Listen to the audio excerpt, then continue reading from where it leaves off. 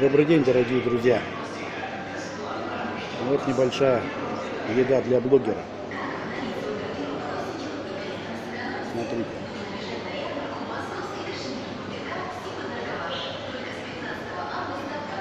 Такой шуточный репортаж.